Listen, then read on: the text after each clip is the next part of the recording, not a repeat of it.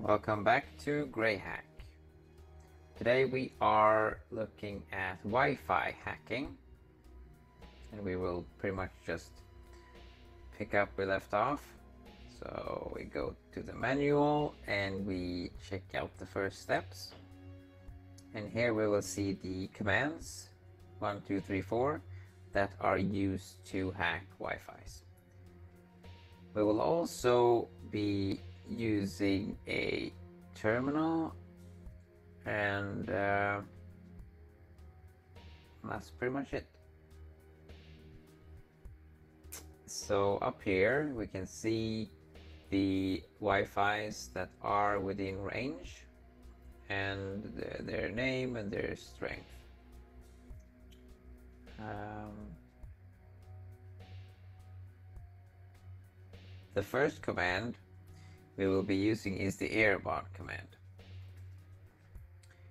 And if we just type airmon, we will see that the monitor mode is false. And we need to enable this. So we do this, you can also find information on these commands and how to do this down here in network commands. Like here we have airmon, iwlist, airplay, aircrack.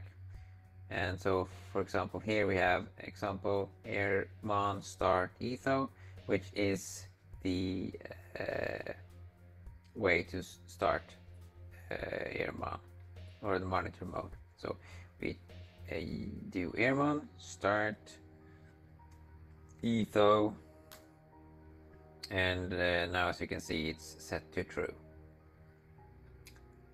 So that's pretty much it for that command. Next up we have the iwlist command and you can actually use them in this order if you want to. So let's go iwlist and again if we uh, well maybe I haven't said that before but if you just type the command usually it will tell you the usage so how to use the command and for example here the iwlist command will be used with the net device. So you type iwlist eth0. And that will show all the available Wi-Fi networks within range and also their signal strength. And these are the same Wi-Fi's that you can see up here.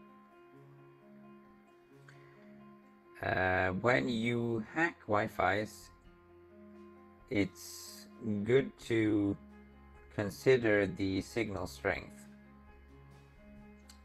And uh, there are two reasons for that. If you uh, pick a uh, Wi-Fi with a high signal strength, it will need packages. You, you will need to collect less packages with AirPlay, which is what we're going to do next. And the collecting of the packages will also be faster. So the strongest signal we have here is probably this one, right? And we can just select all of it and press Ctrl Shift C to copy and then we can use the airplay command airplay airplay right like that.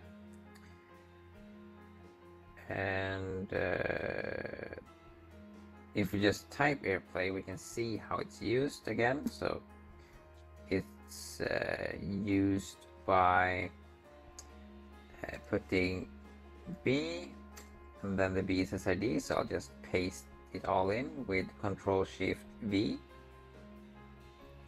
And then I'll just remove the signal strength and put an E here and then the ESSID. That's it. Now we are collecting packages. So if we uh, had uh, found a if, if there were a stronger signal uh, on any of these Wi-Fi's, the uh, package collection would have been faster. We would also need less packages, as I mentioned earlier. So uh, for this 59% Wi-Fi, I would say maybe collect like eight or nine thousand to be sure. I think it's less. Uh, if you have maybe 80% or more, you might only need like 4,000, so it would have been done by now. And if you have some lower percentages, uh, there might you might need like 50,000 ACKs or something, so it can get rather insane at the bottom, like this 4% for example, that will probably take a very long time to both collect the ACKs and uh, get enough of them, so we're at almost at 7,000. In the manual, you can see that it's recommending at least 7,000 packages. And I think that's maybe around 50 or 60 percent. So now we're at 8,000. I think 8,000 is enough. And to stop the collection, we use the control C and that stops the process. Something else that happened is if we look here in the file explorer, we can see that there is now a file.cap file. This file uh, was created by the AirPlay. So when the AirPlay collected packages from the Wi-Fi, it uh, and we and we killed it, it uh, stored uh, the information in this file right here. In order to extract a password from this file, we need to use the lost command. See over here again is the air crack command. So if we type air crack, just to check it out, we see that its use its usage is aircrack and then file cap. And we have the file cap right here. So we just use aircrack and then file cap. You can use tab to autocomplete your uh, uh, commands and uh, file names and folder paths and all kinds of stuff. So that's useful to uh, a very useful feature indeed. Okay, aircrack file cap. And we had enough packages, so we got the password. And the password is Billy Bob.